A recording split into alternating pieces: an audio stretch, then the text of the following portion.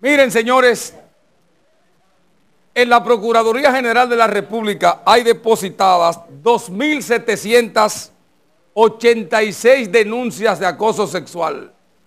Solamente el año pasado el Ministerio Público recibió 1.032 denuncias de mujeres que se sienten acosadas sexualmente. Eso es mucho. Los hombres, la mayoría, utilizan sus cargos gerenciales, su cargo de funcionario para hacerle propuestas indecentes a las mujeres que trabajan con ellos. Eso ha ocurrido en sucursales bancarias, ha ocurrido en ministerios, en instituciones, en escuelas públicas y privadas, hasta en la televisión ha ocurrido denuncias de acoso sexual. Es una pena que los ejecutivos de esas instituciones aprovechen su posición de alta jerarquía para hacerle propuestas indecentes a las mujeres. Muchas se quedan callados, muchas están sufriendo. Y en el grupo dejé a las Fuerzas Armadas y a la Policía Nacional, donde también hay denuncias de acoso sexual de guardias y policías. Eso es una vergüenza para la sociedad. ¿Por qué el tema lo traigo a colación?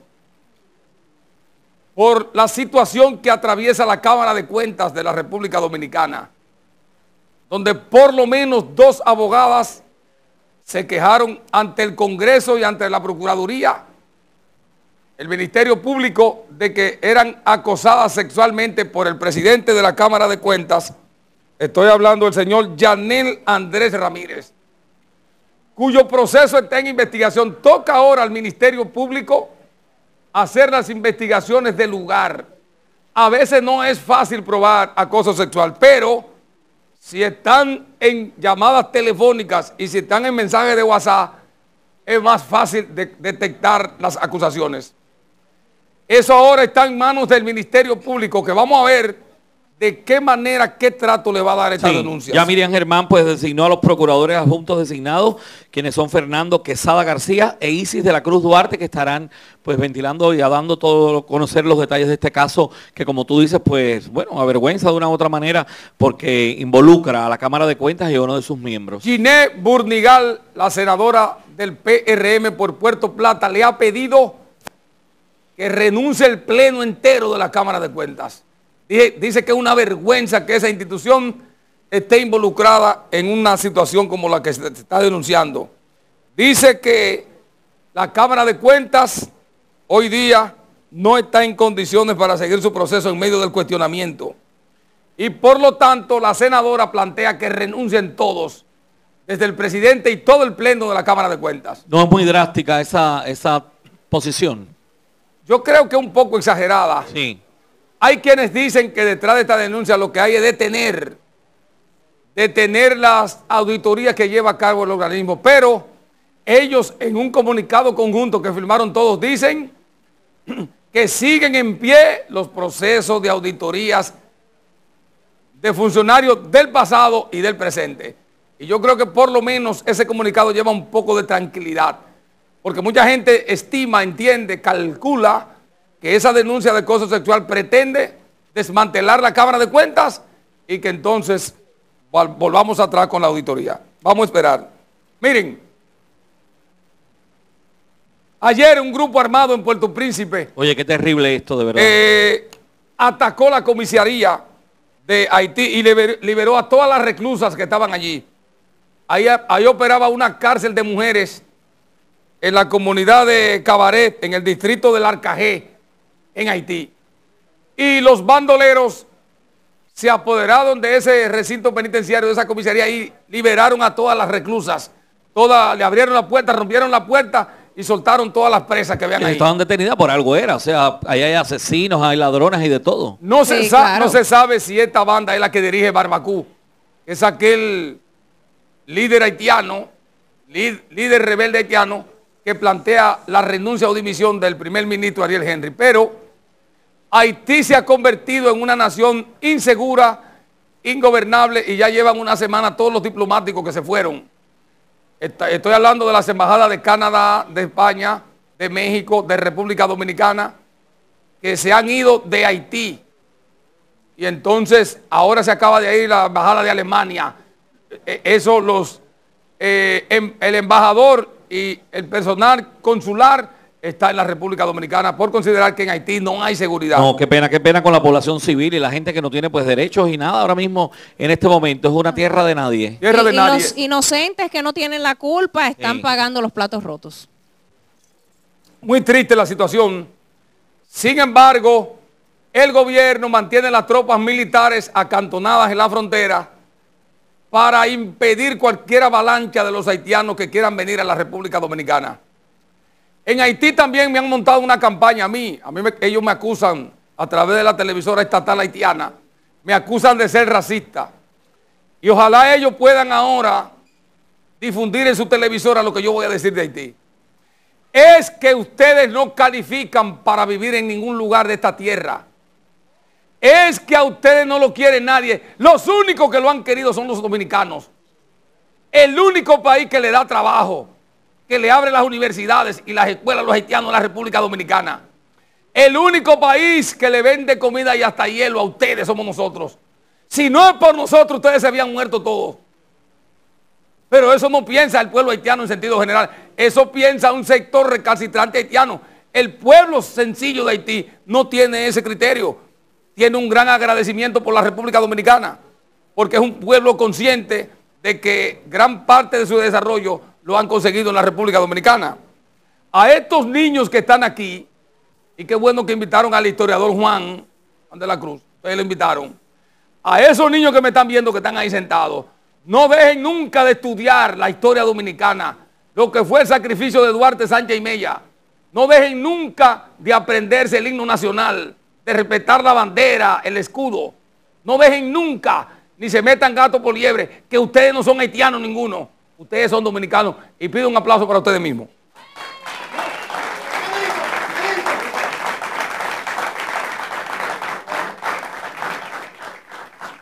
Miren, el, el director del Intran no sirve para nada. El señor Hugo Veras. Ese es un funcionario de pacotilla. ¿Ustedes saben por qué? Funcionario de, de Johnny cuarta, está, está en un quinta categoría. proceso de adaptarse y No, resolver no. la situación. El director de Intran no sirve para nada. El presidente de la República lo llamó por teléfono y le dijo que en la avenida Nacaona estaban ocurriendo muchos Ah, sí, accidentes sí. donde murió el gran amiguito, Yoguito. Sí. Siempre lo voy a recordar con su alegría.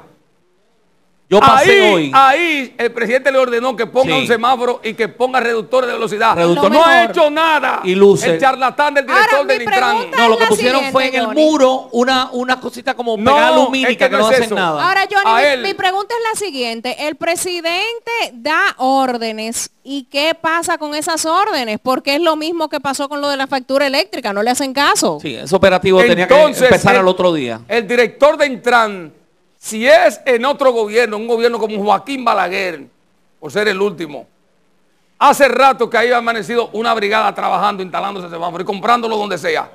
Pero el director de Intran se ha dedicado a reunirse con los choferes, a reunirse que yo que en el interior y no cumple una orden. Señores, aparte de, de Andrés Moisés, haya muerto mucha gente. Porque es que no se ve, la gente cree que esa, Que continúa esa la avenida. continúa. Sí. Y el energúmeno del director de Intran no entiende eso. Porque es lo que se ha vuelto en su vida es teorizar de marca de carro. Eso no es dirigir, dirigir el Intran. El Intran no tiene autoridad en este país. La DGC hace lo que le da la gana. Cierra los elevados, cierra vía, hace lo que le da. Las DGC no tienen autoridad legal para eso. Sin embargo, es una, es una disposición, es una, eh, una prerrogativa del Intran y el Intran no hace nada y ha dejado que esa gente haga lo que le dé la gana. El tránsito es un tumulto, un caos, en gran parte por la inoperatividad del Intran. Entonces, ¿cómo es posible que el presidente de la República haya instruido a ese indolente para... eh, yo soy el director de Intran y terminando de, de- de- colgar el teléfono, sea una a las dos de la mañana, llamo a dos ingenieros, mañana lo quiero ver a las 8 de la mañana en esa avenida y ya tuviera el problema resuelto. Se va a seguir matando gente ahí porque no está lo que se autorizó a poner, que es un semáforo de stop y los reductores de lado y lado. Cuando usted viene de la, estoy hablando del oeste a este, la avenida Nacaona, y llega a esa esquina, ahí debe haber un semáforo de frente. Y tiene que tener en- de cada lado un reductor de velocidad. Eso no lo ha hecho el director de Intran, Esa esquina es que se ha sí. sobrepasado, ha cu- incumplido una orden del presidente de la República, Luis Abinader. Muy lamentable que el presidente tenga colaboradores de la calidad de Hugo Veras. Muy, muy penoso. Miren, las autoridades desmantelaron una fabricación de clerén y otras bebidas ilegales adulteradas en la romana. Ustedes saben que en los últimos dos años más de 500 dominicanos han muerto por comprar ron creyendo que el ron que están comprando es de calidad y el ron es falsificado. Sí, envenenando gente. Ente- enven- envenenando gente. Yo creo que no solamente el desmantelamiento de esas empresas, la prisión, orden de prisión, sin derecho a fianza a esos criminales Sí, lo que pasa se es que dedican a eso. Johnny, con estos casos que han sucedido que programas de investigación han publicado, después no se sabe qué pasa, si salen bajo fianza, si están en su casa. Entonces la gente que hace esto, que es un crimen organizado, le pierde el temor y sigue haciéndolo y sigue sacándole ventaja. Entonces hasta que no se da a conocer cuáles son las consecuencias reales de las personas que hacen este crimen, la cosa va a seguir igual. Eso Como es así. le voy a decir la marca que fabrican ellos, a- anótenlo. Cañañá, Triculí, Clerén, hay otra, Tucita. Esos son los roles Oye los que, nombres. que ellos fabrican. Ah, y la última que, de- que fabrican cuesta ¿Cuál? 100 pesos que se llama Dame una recarga. Ya tú sabes, Una eso, eso es recarga veneno es- puro. Una recarga es una botellita de ron diminuta, porque toman el envase de, de los rones establecidos y ahí meten lo que llaman una recarga, que no se sabe lo que tiene. Ahora, la ignorancia es atrevida, porque como si tú sabes todos los casos que han sonado, que públicamente se han dado a conocer, tú sigues comprando una cosa Son como esa. bebidas de procedencia haitiana, todas las que mencioné. Cañañá, Triculí, eh, Clerén, Tucita. Todo ese alambique son cultura haitiana. Ustedes ven por qué es que yo no quiero los haitianos aquí. Y ahora están cocinando una vaina que uno no sabe si es un perro muerto adentro con un paquete de cosas adentro, de que, que eso que es yo, que un víver. una- Pero allá en Haití. Eh, no, aquí ya, en algunos lugares pero están- es cierto que también en algunos establecimientos, no todos por supuesto, pero en algunos establecimientos engañan a los consumidores y, y le venden una bebida por otra, incluyendo este, Claro, estas bebidas eh, que mencionaste. hasta hace poco el Chivarriga, ellos cogían la botella vacía, Exacto. le introducían con una aguja, con una aguja, la, una aguja, la llenaban de toda eso, de todos esos rones falsificados. Sí. Entonces, los tanques se pueden ver en la pantalla. Eh, yo quiero saber si la policía me dice que están presos los, que- los- los- los dueños Es una cosa asquerosa, de, esa, de esa fabricación. Sí, bueno, hay caso, el caso de un venezolano que quedó vegetal, que fue a, una, a un, para- un pasadía turístico, le dieron esta bebida y está, hasta hoy en día vegetal es una cosa terrible lo que le puede pasar a una persona que consuma esto. Eh, Eso es así. Miren, yo quiero hoy decir, el presidente de la República encabezó una reunión en el Palacio Nacional con los partidos políticos para evaluar los daños provocados por el paso del huracán Fiona por República Dominicana. La oposición política se ofreció a colaborar con el gobierno para tratar de auxiliar a las familias afectadas con el huracán. Hoy se da a conocer que el Banco de Reserva va a donar 100 millones de pesos, 50 millones de pesos el Banco Popular, el empresario Juan Vicini 50 millones de pesos y otras instituciones. En algunos pueblos ya hay teleradiomaratones para hacer recaudaciones de donativos de los dominicanos para las familias que fueron afectadas. Por ejemplo, en San Juan de la Maguana, hoy hay en el día entero un teleradio maratón que se está transmitiendo por la televisora local y las emisoras de radio, pidiendo la ayuda y todo el que tiene algo que llevar, lo puede llevar al edificio Ramírez, en la avenida Nacaona número 52, en San Juan de la Maguana. Sí, Pero también aquí, en, en el parqueo de Plaza Lama, hay ahí un furgón, una actividad que está encabezando la fundación del doctor Cruz Jiminián, buscando donativos para llevárselo a las familias que fueron afectadas por el huracán. Un gesto importantísimo. Yo creo que la Barrigol, yo creo que otras empresas también deben donar y no dejemos al gobierno solo en esta operación. Sí. Sino que el pueblo dominicano ha sido un pueblo solidario. Siempre. Y un pueblo que ha estado con los pobres. El presidente dice que le va a reparar y a construir en- alrededor de 8.700 casas. Lo creo importante. Y qué bueno que la clase política ha hecho conciencia de participar en todo este proceso de reconstrucción. Sobre todo de la línea de la, de, la región En el este este está del país. desbaratado y güey, Romana, me dicen que es una cosa terrible. Hay un grupo, Johnny, a propósito, que el- nuestro querido amigo eh, Leandro de Delta, pues está organizando junto al cónsul dominicano Eligio Jaques en la ciudad de Nueva York para recopilar ayuda y mandarla a República Dominicana. Una labor muy bonita. Más adelante vamos a pasar imágenes Sí.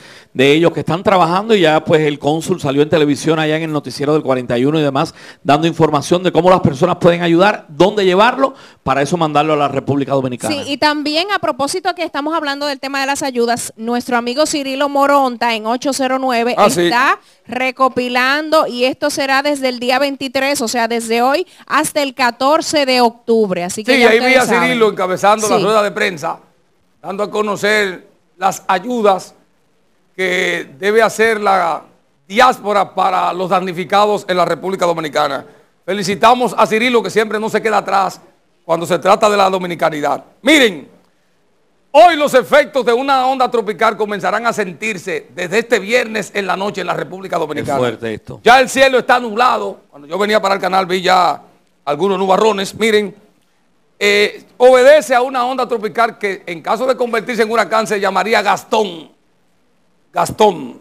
Entonces la Oficina Nacional de Meteorología está advirtiendo que va a llover durante el fin de semana. Para los que estén aquí, los que nos están viendo, tomen las medidas de lugar. ¿En qué región específicamente? ¿Todo el territorio? habla de la cordillera central y da una serie de, de- de coordenadas donde se van a sentir los efectos de esta onda tropical que va rumbo a, a Estados Unidos. Eh, eh, por tanto, el huracán Fiona va ahora por las Bermudas, saliendo de las Bermudas y va rumbo a Canadá. Y está convertido en categoría 4. Terrible. Después que salió de aquí se sí. fortaleció. Entonces ellos están esperando. Los efectos en Puerto Rico han sido más que en la República Dominicana. Sí. Los efectos No, Puerto en Puerto Rico está Rico devastada. todavía no se recupera de la energía eléctrica. Aquí también hay muchas fallas en el sistema eléctrico. En la República Dominicana, es que con generada el por eso. calentamiento, eh, las aguas calientes del Caribe siempre le dan más fuerza a estos eh, fenómenos que sin duda son devastadores para el Caribe y para donde quiera que llegue. Miren, la Asociación de Fiscales le está pidiendo al presidente de la República, Luis Abinader, mayores recursos para ese organismo de la justicia dominicana. Incluso los fiscales, yo no sabía que había una asociación de fiscales. Y qué bueno, hay una de jueces también.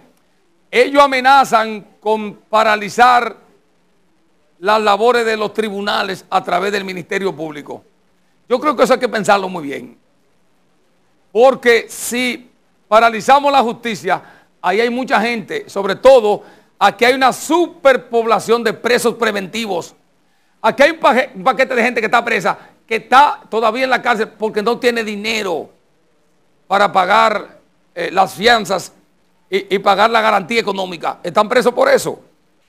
Nosotros esperamos que esto pueda hacerse, que se pueda tratar de reencauzar. Ya hay un paquete de fiscales que cumplieron, cumplieron ayer, cumplieron ya su tiempo, ahora habrá que eh, convocar a un concurso para escoger a través de la escuela del Ministerio Público los nuevos fiscales. Y eso yo creo que es importante. Es importante que eso se haga. Ahí me están enviando fotos y cosas de fiscales que se han hecho millonarios en el interior. Sería bueno que la Procuradora General de la República pudiera mandar investigar de dónde algunos fiscales pueden demostrar la fortuna que han acumulado después que están en el cargo. Tienen fincas, tienen una flota de vehículos, están metidos en mil negocios. Me dicen que hay fiscales que tienen que bomba de gasolina, yo no sé cómo. Porque el sueldo de un fiscal no da para eso. Pero bien, eso le tocará a las autoridades investigar. Es una pena. Y recuerden ustedes que el- a principios de este año se robaron 110 escopetas del cuerpo del delito, armas de fuego, en, la Fiscalía de Santo Domingo Este. Esa fue la denuncia que hubo. Y aquí se hacen las denuncias y no hay presos ni régimen de consecuencia. Y por eso es que estamos como estamos. Porque este país no tiene instituciones. Aquí en Estados Unidos usted no puede exhibir una fortuna ocupando un cargo público. Si usted explica, mira lo que está pasando Donald Trump. Que por cierto, en China ayer aprobaron la pena de muerte para un funcionario por corrupción. Y en la apelación, él podría salvarse de que no lo maten, de que no lo lleven a, a la silla eléctrica, pero sería condenado a cadena perpetua. Ahí, en China y Japón, hay leyes duras contra los ladrones del Estado. Esos son ejemplos que, claro. Ese no dinero que se le quita al pueblo. Exacto. Eso, eso es así. Finalmente, finalmente, ahí están dando unos datos de que, que la, la delincuencia bajó de que más de un 40%. ¿Y dónde? Yo no sé dónde. Yo no sé dónde bajó la delincuencia. Si todos los días suben dos y tres videos de atraco y Eso, asalto. Sí. eso iba yo a decir. Entonces, ¿dónde son esos videos que se, se vuelven Y los ladrones de piezas de carro siguen haciendo de la suya y no, No. pasa nada. Hay un raterismo imperdonable. Hay que fortalecer la Policía Nacional. Necesitamos fortalecer la Policía Nacional. La gente dice que, que- que la gente se descuida. Es que la sociedad fue diseñada para que usted no esconda lo suyo. Claro, tú no puedes andar y que con miedo en la calle, con un celular, una cartera, es imposible, porque entonces no es una, no es una ciudad civilizada, Exacto. es una selva. Exacto. Eh, decía un economista esta mañana que es falso que el turismo sea la principal fuente de la economía dominicana, que la principal fuerza de la economía dominicana está en la diáspora. Claro, en las Y me remesas. hacía la siguiente Es observación. cierto, es verdad. Ya han mandado más de 17 mil millones de dólares.